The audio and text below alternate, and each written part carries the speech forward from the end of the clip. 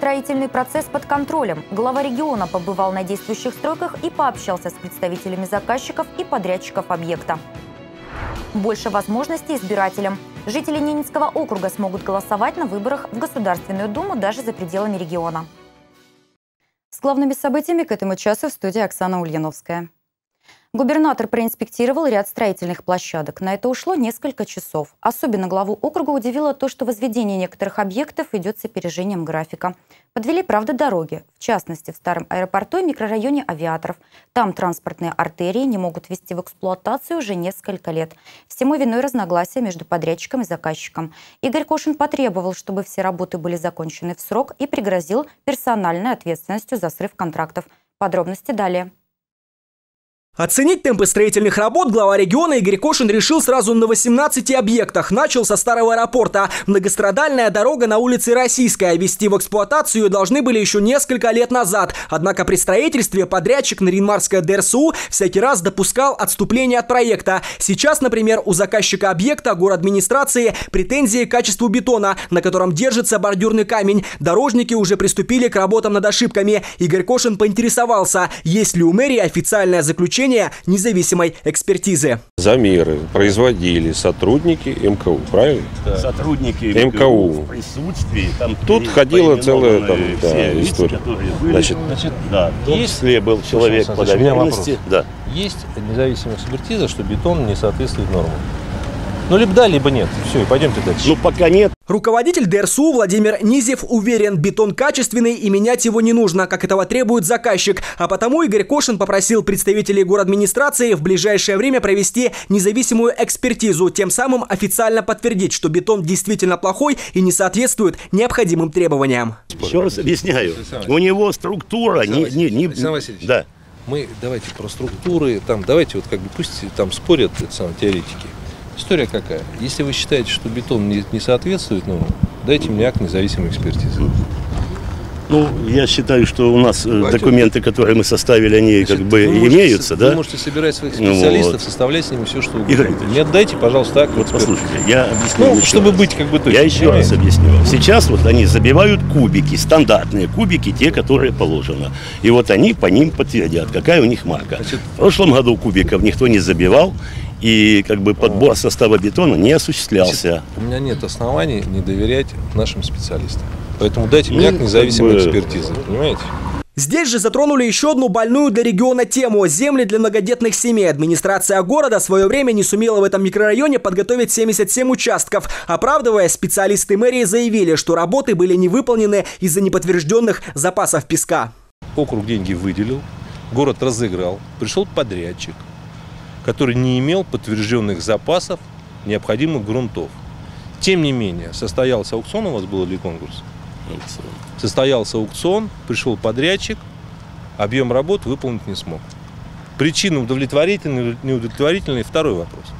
По факту работы не выполнены. По факту здесь нет сегодня 77 участков.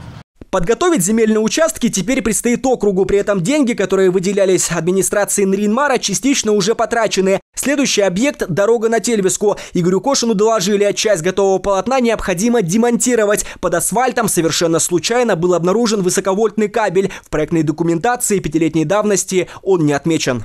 Стали коммуникации проверять, которые у нас были на чертеже. Вот. И оказалось, что идут э, непонятный кабель, да еще в дороге несколько зигзаг. Все промолчали это. То есть, ну, проект, проект давно уже сделан, пять лет назад. Впрочем, главу региона это не удивило. В то время, когда разрабатывался проект, полномочия по дорогам исполняла Архангельская область. Соответственно, всю документацию на объект готовили специалисты из столицы Поморья. Чертежи наносились на бумагу, по всей вероятности, дистанционно, без выезда на место. Изыскания, скорее всего, тоже не проводились. Для чего мы централизовали э, полномочия? Я просто вынужден еще раз. Абсолютно верно, Александр Васильевич. 95-й закон. Потому что только централизация нам позволит заказывать проекты, в том числе и дорог, не маленькими кусочками, а потом лепить с них мозаику, не найдя ни крайних, ни виноватых, а иметь общий проект развития нашего города с общими коммуникациями, с общими дорогами, чтобы потом э, в полотне дороги не находить кабеля под напряжением непонятные, чтобы потом не находить э, колодцы, которых не должно было быть. У нас почему дорога там изменила направление? Ну там да, колодцы. В колодце вдруг, вдруг оказались колодцы, да? Чтобы у нас так не получалось, что тротуар у нас сразу проходит на выходе из гаража. Было у нас такое? Чтобы у нас не получалось, что дорога, которую мы в прошлом году строили, вдруг оказалось проходит по детской площадке. Это вопрос не только города. Это вопрос проектированию в принципе. Игорь Кошин напомнил, вовремя заключенный договор о возвращении полномочий из Архангельской области позволил округу получить свою строчку в федеральном бюджете. В этом году из российской казны удастся привлечь почти 900 миллионов рублей на дорожную и градостроительную деятельность. Активно помогают региону и недропользователи. На прошлой неделе компания «Русит Петра» объявила о том, что готова выделить 30 миллионов рублей на возведение детского сада в микрорайоне Авиаторов. Его строительство, к слову, уже идет полным ходом. Подрядчиком выступает Краснодарская ОСМО. Сейчас ведутся работы по забивке свай. Дальше подрядчик приступит к э, устройству монолитной плиты. Все материалы, цемент, арматура на данный вид работ имеются. С начала июля будут э, начаты работы по доставке панелей с города Архангельска. Все работы будут завершены не позднее августа 2017 года. Проинспектировал глава региона и ход строительства жилого фонда. Этот дом возводит компания ВМ Инвест. Многие квартиры уже раскуплены. Собственники, участники окружной программы, ипотека под 5%. Мы все время говорим, что округ у нас особая территория. Э, мы все привыкли э, строить и жить исключительно на доходах окружного бюджета. Вот э, сегодня мы должны активно внедрять в том числе и рыночные механизмы. И как раз-таки 5% ипотека, она была рассчитана прежде всего для того, чтобы помочь застройщикам э, сформировать рынок жилья. Почему там нет льготных категорий населения в 5% ипотеке? Там самое э, главное, э, даже не количество там собственности, которая есть в наличии, там самое главное – чтобы банк одобрил кредит. Здесь по плану строится 24-квартирный дом из конструкции ВСТК. Э, здесь, извиняюсь, остальные два дома, 14-квартирный и 42-квартирный, тоже планировался под ВСТК. Но с учетом того, что спроса нет под э, ипотечные кредиты, сейчас мы перепланируем проекты под строительство из монолита. А срок ввода в эксплуатацию по декларации у нас декабрь 2017 года. Всех трех домов? Всех трех домов. А это уже улица Тыковылка, и хотя дом еще не построен, кстати, работы ведутся с опережением графика, большинство квартир тоже раскуплены, остальные забронированы. Это значит, 5% ипотека в регионе среди населения становится все популярнее. Осматривая объект, Игорь Кошин поинтересовался, сколько здесь трудоустроено местных специалистов. Оказалось, что из 15 каменщиков половина приезжие. Причина основная в том, что наши не хотят работать на... На сдельной оплате Понятно. Не хотят норму выполнять. То есть не хотят выполнять норму. Да? Просто ну, элементарную норму, которая установлена. Которая... Так, тогда у меня вопрос. Сколько каменщик получает в месяц при выполнении нормы? Ну, у нас средний больше 50 тысяч получается. Больше 50 да, тысяч. Да. Это совершенно точно. Совершенно точно. Да. Да, при выполнении нормы, которую мы положим. При выполнении да. нормы, которая положена. Да. Проблема безработицы – это не только проблема власти, но это проблема э, все-таки и э, каждого жителя, у кого сегодня работы нет. Либо она есть, но не устраивает. Всегда есть два пути. Либо надо идти и трудиться, либо ждать у моря погоды. Осмотрел Игорь Кошин и будущий гостиничный комплекс на улице Рыбников. Его возводит Наринмар Стройинвест, заказчик объединенный авиаотряд. По сути, это будущее малосемейное общежитие для сотрудников авиапредприятия. В каждом номере будет отдельный санузел и своя кухня. Стоимость контракта всего 99 миллионов рублей. Без отставаний все по плану? Ну, стараемся по плану, по графику. То, что у нас э, с опережением даже. Мы, по идее, должны сдать этот объект в следующем году. Поэтому мы хотим в этом планируем. Планы стоят на это. Ввести в эксплуатацию данное здание целом, тем, как в регионе идет возведение социально значимых объектов, Игорь Кошин остался доволен. Главное, по его словам, чтобы все работы были завершены в срок. Ведь деньги из окружного бюджета на счета строителей поступают без задержек. Что касается дорог в старом аэропорту и микрорайоне авиаторов, то этим летом, как сказал глава региона, они непременно должны быть запущены в эксплуатацию. Строить один объект по несколько лет просто недопустимо. Олег Хатанзейский, Сергей Качегов, телеканал «Север».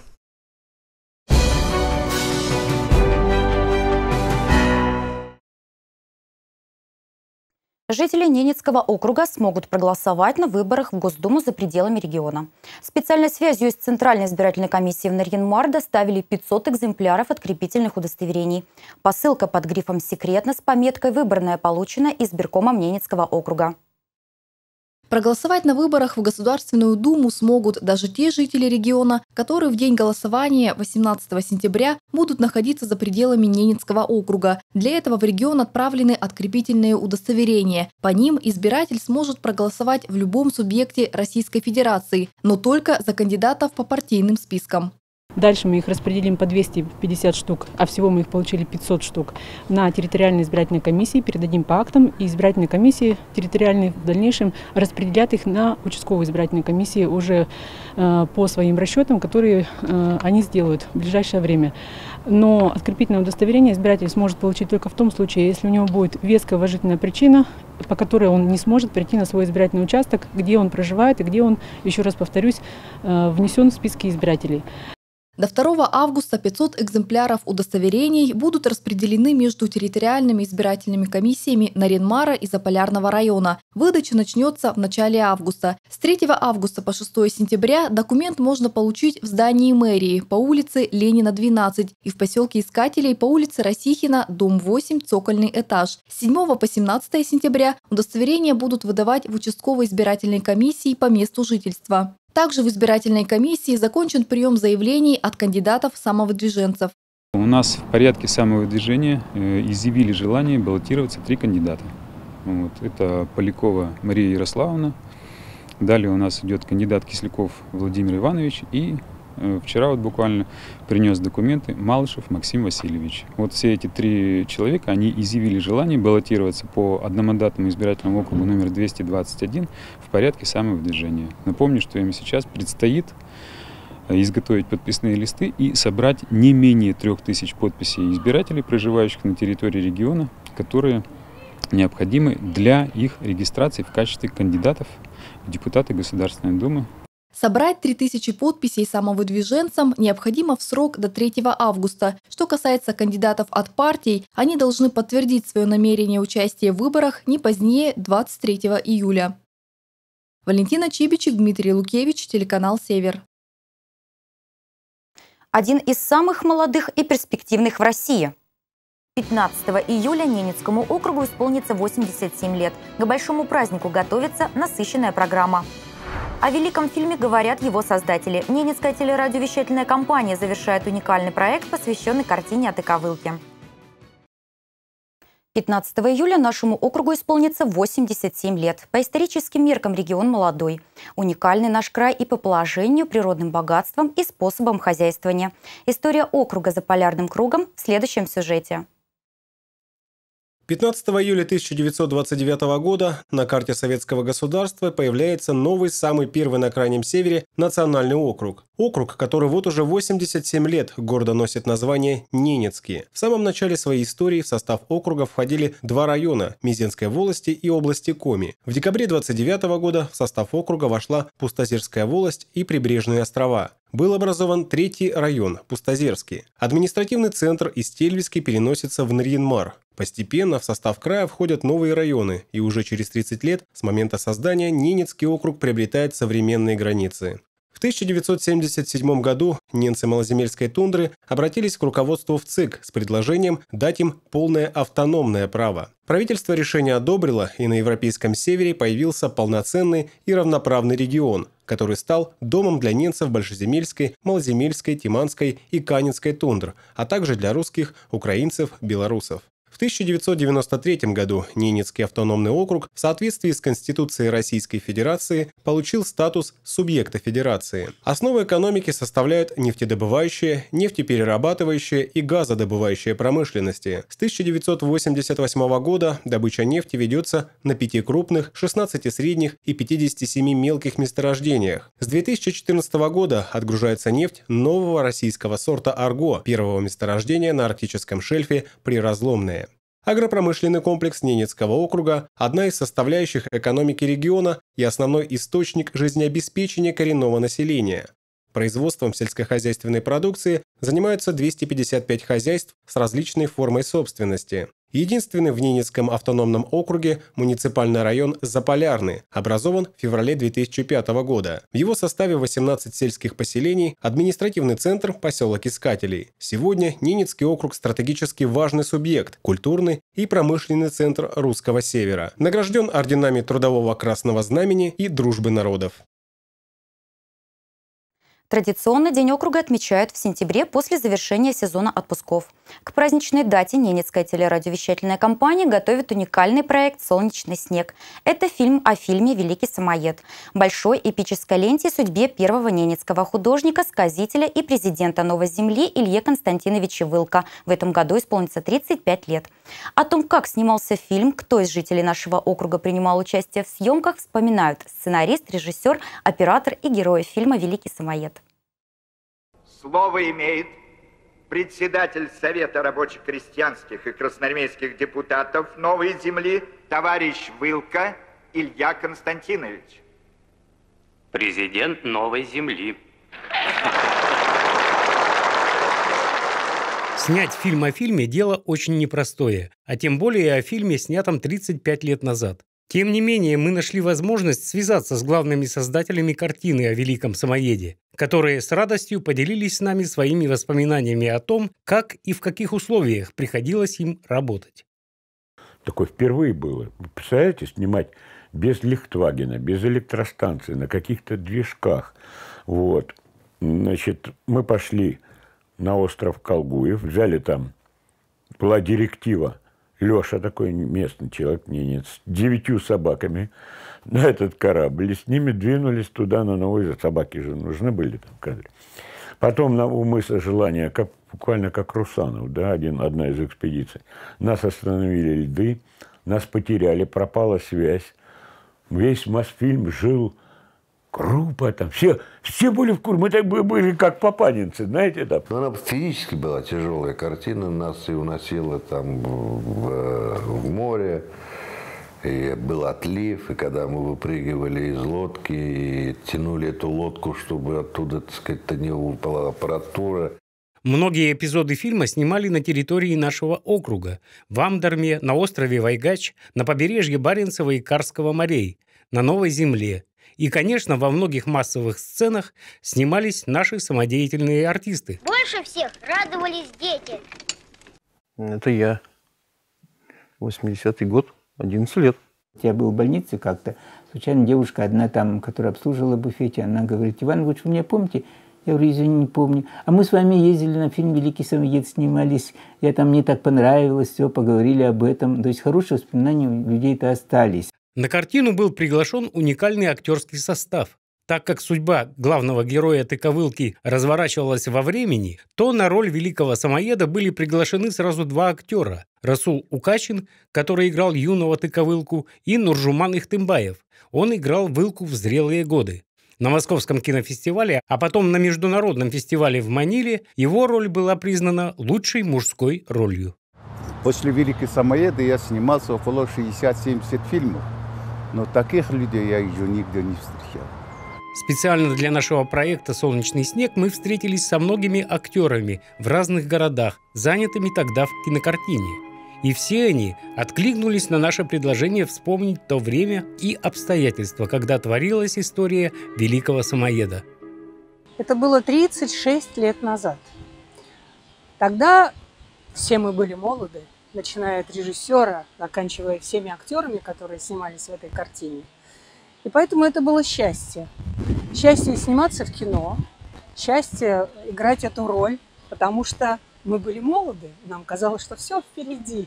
Презентация проекта «Солнечный снег» о фильме «Великий самоед» состоится в сентябре. Она будет посвящена дню рождения округа, Дню российского кино и 35-летию выхода знаменитой картины на экраны страны. Андрей Чуклин, Дмитрий Щепанов, Вадим Носкин, телеканал «Север». На этом пока все. Увидеть новости можно и на нашем сайте. Адрес trksевер.ру. Далее прогноз погоды.